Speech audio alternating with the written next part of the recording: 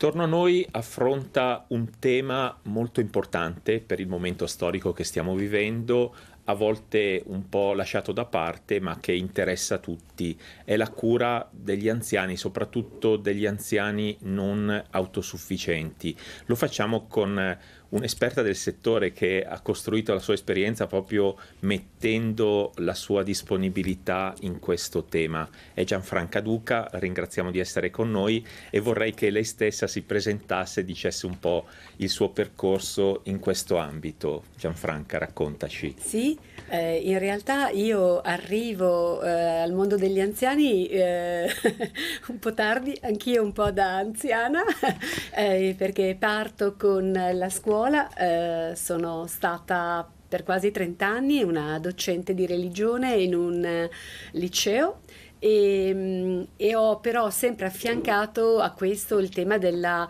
del welfare e delle politiche sociali e della progettazione sociale, quindi un'esperienza nel mondo del volontariato un'esperienza anche nel mio comune che è Cinisello Balsamo di assessore alle politiche sociali e poi ehm, diciamo la, la, partenza con questa grande sfida che è eh, quella della cura delle persone anziane. Eh, persone anziane che eh, eh, sono sempre di più come classe demografica, che vivono sempre più a lungo, eh, per fortuna, e che ehm, eh, hanno, c'è bisogno quindi di, di, un pensiero nuovo rispetto a eh, una vita di qualità eh, sia rispetto ai temi di prevenzione sia rispetto proprio ai temi della cura. Quindi eh, questa tua esperienza dall'insegnamento, quindi sì. soprattutto il contatto con i più giovani sì. e poi forse anche la sensibilità, il tuo impegno sociale che ti ha fatto capire come questo mondo, questa realtà ha bisogno di uno sguardo particolare, l'hai fatto da amministratrice con sì. delle responsabilità e poi sempre più forse con un contatto più e una responsabilità se vogliamo ancora più diretta. Quali sono un po' eh, le esigenze che vedi in questo settore e che a volte magari non sono prese in conto? Sì, eh, da un lato eh, le politiche per gli anziani sono spesso politiche legate eh, all'emergenza, no? quando la persona anziana perde eh, completamente le sue autonomie occorre eh, diciamo accelerando tempi e ehm, lasciando spesso le famiglie anche in una situazione di grande difficoltà rincorrere soluzioni che sono soluzioni spesso legate all'allontanamento eh, dal proprio domicilio e il ricovero. Quindi l'esigenza di politiche lungimiranti che progettino e possano permettere alle persone di progettare la propria vita, un po' come fanno i giovani quando progettano rispetto al futuro e intraprendono scelte conseguenti. Così dovrebbe essere anche proprio la progettazione di questa parte della vita che è molto interessante, ma che ha bisogno di progetti personalizzati e anche di ehm, come dire, politiche che mettano insieme reti che non siano solo legati alla cura, ma che siano reti sociali certo. della società e che interpellino tutti. Ecco, abbiamo visto delle immagini, penso che si riferiscano proprio sì. ai luoghi che eh, sì. sono sotto la tua responsabilità. Tu sei direttrice generale sì. di una realtà, di una mm, residenza per, per, anziani, e quindi quali sono le, i contatti che hai con eh, le famiglie, gli anziani, che cosa percepisci da questo tuo lavoro che è un po' di coordinamento, di tenere insieme le fila di tante esigenze? Sì, da un lato sicuramente eh, la, le, la, residenza deve, le residenze eh, devono diventare, cerchiamo di farle diventare un centro di servizi in cui le famiglie possano trovare risposte diverse eh, a, eh, ai bisogni eh, dei loro cari. Una rete importante con la comunità eh, per esempio l'importanza di eh, progettare eh, anche con i più giovani progetti intergenerazionali in cui la sapienza degli anziani e eh, la eh, freschezza eh, dei bambini e dei giovani possano eh, convivere. E dall'altro il far sentire le famiglie eh, meno sole, ma eh, dobbiamo essere in grado di eh, costruire un'alleanza, eh, un'alleanza di cura questo è un po' l'obiettivo no? che, che, ci poniamo nel, nel nostro lavoro certo, quotidiano. E poi penso che una novità sia l'intervento anche delle nuove tecnologie, della possibilità di avere a disposizione dei, degli strumenti che una volta erano impensabili. Eh, anche la tecnologia viene eh, in aiuto alla non autosufficienza oppure anche a delle situazioni patologiche particolari è certo ed è sicuro che ci vuole un intorno totalmente umano e una sensibilità sociale che si approfondisce, però direi alla regia di mandare in onda una parte di un servizio del TGR che ha presentato un'iniziativa legato alla residenza del sole, giusto? Bene, certo. Ha le dimensioni di un bambolotto, emette suoni di bambini di pochi mesi, ma è senza volto. Si chiama Hiro, una bambola robotica giapponese utilizzata come terapia per i malati di Alzheimer. Il progetto, il primo in Italia, nasce da una collaborazione tra l'Università Federico II di Napoli e l'RSA Residenze del Sole di Cinisello Balsamo nel milanese, che ospita 20 pazienti con questa patologia. Gli mancano le caratteristiche somatiche del viso perché eh, l'idea è quella di non proiettare l'immagine di un vissuto, ma di avere un'idea fantastica di un'immagine qualsiasi. La bambola robotica rispetto a quella tradizionale, già usata da anni per i pazienti con Alzheimer, ha la caratteristica di interagire. Proviamo a cullarla a vedere se si addormenta, perché sennò dopo si mette a piangere, sai, se non dorme. No. No, non piange. No. Ah, ok. E l'ospite quindi, a differenza della vecchia bambola normale, eh, ha un momento di sollievo e un momento di felicità perché sente che qualcuno sta reagendo in maniera positiva al mio trattamento. La prendo in braccio, cerco di parlarle, cerco di accudirla e da questo ne, ne traggo un beneficio che il primo è quello di non sentirmi più solo, perché l'isolamento emotivo, relazionale in Alzheimer è uno dei gravi, dei danni maggiori.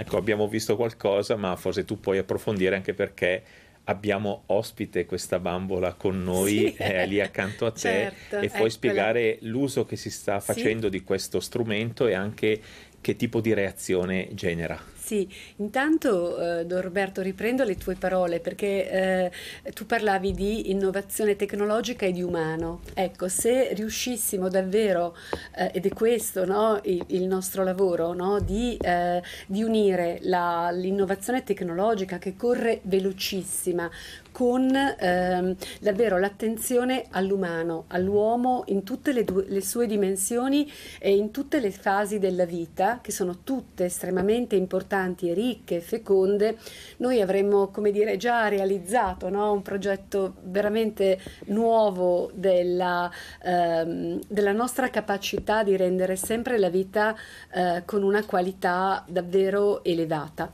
E questa bambolina è, ehm, che si chiama Iro è una bambolina che ehm, eh, per noi è eh, una esperienza importante perché sta all'interno di una ricerca scientifica condotta con appunto l'Università Federico II con un'altra cooperativa bolognese che è la cooperativa Il Sole e che ha permesso di monitorare quali sono i cambiamenti umorali di comportamento di persone che sono eh, malate eh, di Alzheimer rispetto proprio a una relazione con, eh, con questa bambola. E i risultati sono eh, sorprendenti nel senso che migliorano le capacità relazionali. Spesso la bambola diventa anche un tramite tra una persona e l'altra, no? e, um, condividono la cura della bambola, quindi fa aumentare le relazioni sociali.